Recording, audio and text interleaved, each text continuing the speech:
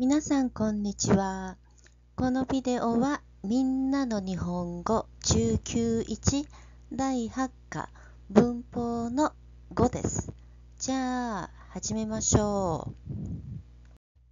まだ第8課の語彙と文法1から4を勉強していない人は先にそちらのビデオを見てください。下にリンクが貼ってあります。みんなの日本語中級1第8課文法項目の5では Noun によってを勉強します。Noun によっては違う、異なる、変わるなどの言葉が続きます。違うと異なるは大体同じ意味です。Different, differ, vary 変わるはチェンジするという意味です。日本には日本の文化や習慣があります。文化、カルチャー、習慣、カスタム。インドにはインドの文化や習慣があります。中国には中国の文化や習慣があります。日本とインド、それから中国の文化や習慣は違います。文化や習慣は国によって違います。Cultures and customs vary or differ depending on countries. 日本文化や習慣は国によって違います。Noun 名詞によっての前は名詞が来ます。もう一つ簡単な例を見てみましょう。A さんの趣味はスポーツです。B さんの趣味は音楽を聴くことです。C さんの趣味は読書です。読書は本を読むことです。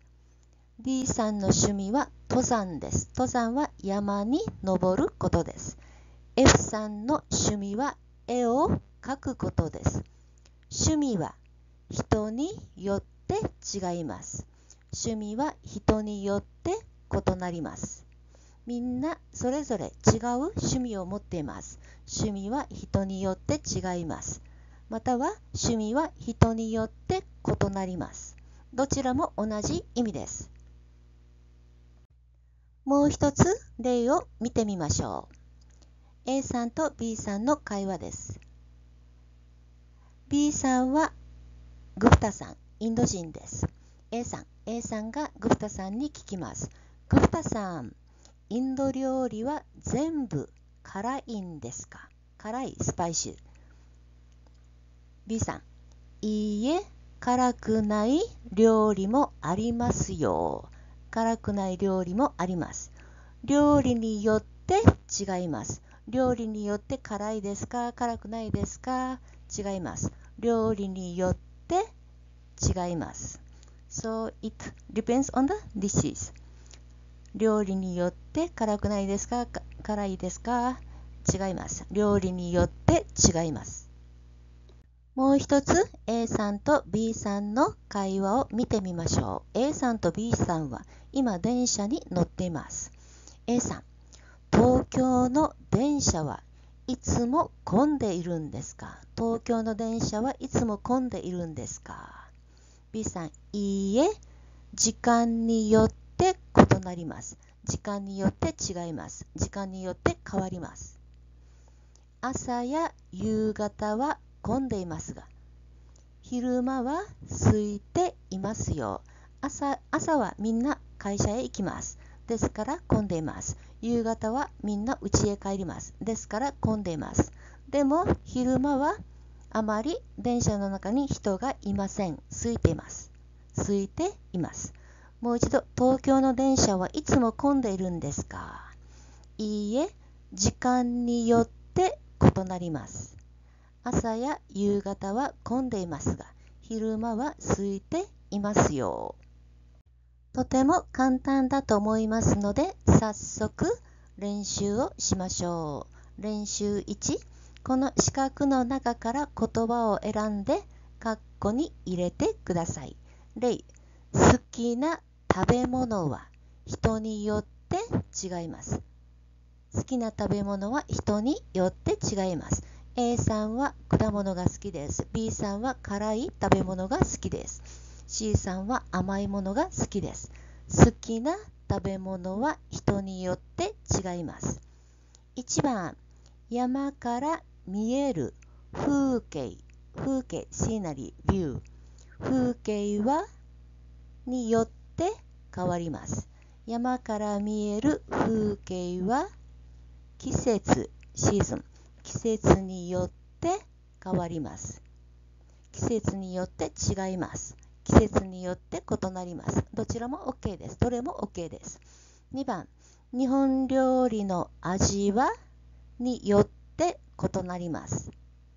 日本料理の味は店によって異なります。あと、お家によっても違います。人によっても違います。作る人によって違います。味は違います。3番、このアパートの家賃はによって違います。家賃、家賃は house rent。そう、このアパートの家賃は部屋によって違います。大きい部屋は高いです。小さい部屋は安いです。部屋によって違います。4番、インドの言葉はによって異なります。インドの言葉は州、州によって異なります。州は states。インドの言葉は州によって異なります。練習に、練習には A さんと B さんの会話です。例のように括弧に言葉を入れてください。A さん、山の景色はいつも同じですか？同じ ?same。いつも同じですか ?B さん、いいえ、季節や天気によって変わります。季節、シーズン、天気、ウェダーによって風景は景色は変わります。風景も景色も同じ意味です。ビュー、シナリー。1番、A さん、N3 クラスの先生はいつも同じ先生なんですか？いいえ、によって違います。月曜日の先生は田中さんで、田中先生です。水曜日の先生は山田先生です。金曜日の先生は加藤先生です。そう。いいえ、曜日によって違います。曜日によって先生が違います。2番、A さん、ゴミの出し方はどこでも同じですか？いいえ、大阪の町、東京の町、それから北海道の町、沖縄の町、全部違います。いいえ、町によって異なります。ゴミの出し方はどこでも同じですか？いいえ、町によって異なります。このルールは町が決めます。ですから町によって異なります。3番 A さんこのマーケットはどの店も休みは同じなんですか ?B さん、いいえ、店によって違います。花屋さんは火曜日が休みです。時計屋さんは水曜日が休みです。電気屋さんは火曜日が休みです。店によって休みが違います。このマーケットはどの店も休みは同じなんですか？いいえ、店によって違います。4番、A さん、日本人はみんな漢字をよく知っているんですか？よく、well。B さん、いいえ、によって違います。漢字をよく知らない人もたくさんいますよ。漢字を知らない人もたくさんいますよ。ですから答えはいいえ、人によって違います。漢字をよく知ってる人もいます。でもよく知らない人もたくさんいます。特に、especially 最近の these days 若い人は漢字を書けない人が多いですね。みんなパソコンをよく使いますか？よく使います。ですから漢字をあまり書きません。ですから漢字を書けない若い人が増えました。もう一度 A さん。日本人はみんな漢字をよく知っているんですか？いいえ、人によって違います。漢字をよく知らない人もたくさんいますよ。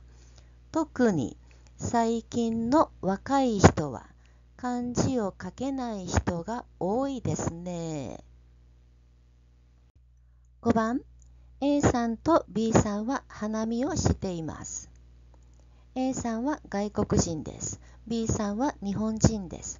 A さん、日本では桜はどこも東京と同じように、same as 東京、東京と同じように3月の終わり頃から4月の初め頃に咲くんですか ?B さん、いいえ、によって違います。沖縄では1月の終わり頃に咲きますよ。北海道では4月の終わり頃から5月の初め頃です。5月の初め頃に咲きます。ですから、いいえ、場所によって違います。暑いところ、暑いところは早く咲きます。北海道は寒いですから遅くに咲きます。東京は3月の終わり頃から4月の初め頃です。もう一度 A さん。日本では桜はどこも東京と同じように3月の終わり頃から4月の初め頃に咲くんですか ?B さん、いいえ、場所によって違います。沖縄では1月の初め頃に咲きますよ。北海道では4月の終わり頃から5月の初め頃です。今日は以上です。お疲れ様でした。